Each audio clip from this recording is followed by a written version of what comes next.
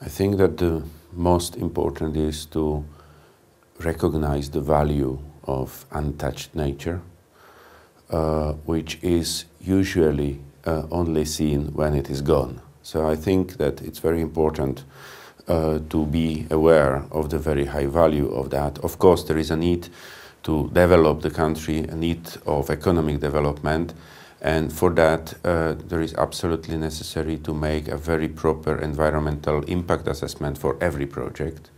And uh, as far as possible to keep nature unfragmented uh, and in large uh, natural areas uh, functional. So I think this is a lesson which we learned in Europe that our nature remains very fragmented and therefore not very functional and doesn't support anymore many of the natural uh, uh, species which were present in Europe uh, earlier.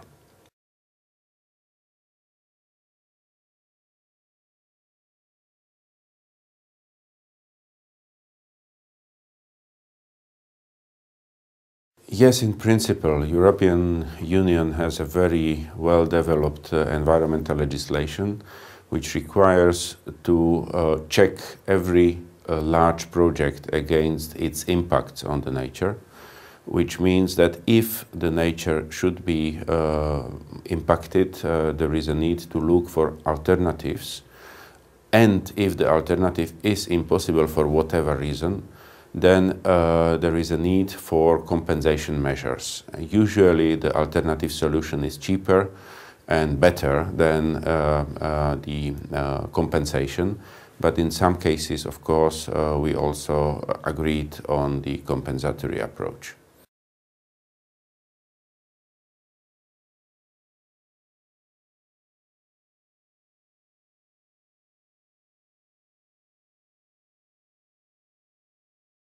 It is, of course, a question of long run, but in, in the long run, uh, certainly yes, because uh, we see how much we have to invest now to restore biodiversity in the Europe. This is extremely expensive, and the result is not uh, clear in advance.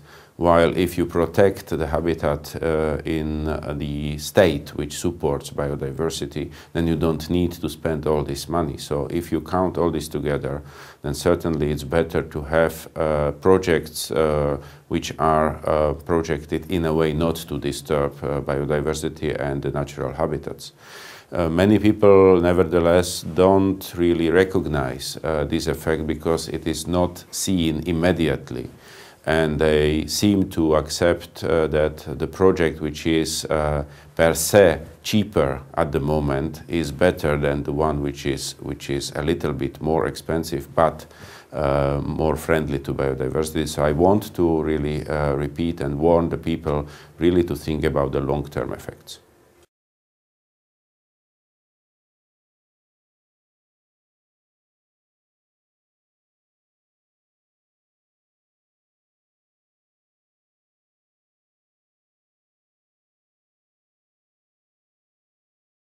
Certainly, yes. I think that uh, it's, it's worth to reconsider because I am pretty sure that uh, the version with uh, a bridge over the bay uh, is uh, at the end even cheaper because it's a shorter way, basically.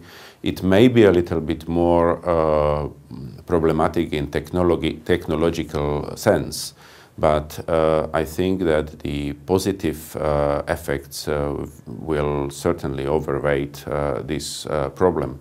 Uh, and for the, for the long run, again, I think that the, the way which will cut the mangroves from the forested area will cause a, a, a very negative effect on the local fauna directly and indirectly, of course, will open the territory for all possible kind of illegal activities which will destroy even the habitat itself.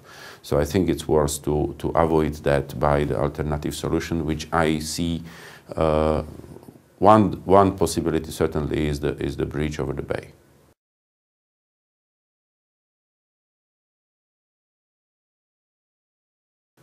The public opinion is actually uh, extremely important in, in European Union. Uh, we have uh, many legal uh, instruments which assure that uh, the politicians during their decision making have to take into account the public uh, opinion. And in addition to that, of course, there is a direct link between the democratic electoral system and public opinion. Usually, if the politicians don't follow the public opinion, uh, they will lose uh, some support of the public for the for the coming elections. So, I think uh, on the one side we have legal binding instruments which which push. Uh, decision makers to follow the public opinion. On the other side, there is also this indirect effect which uh, Uh, links uh, the decision making to the elections and therefore the public opinion is followed as well.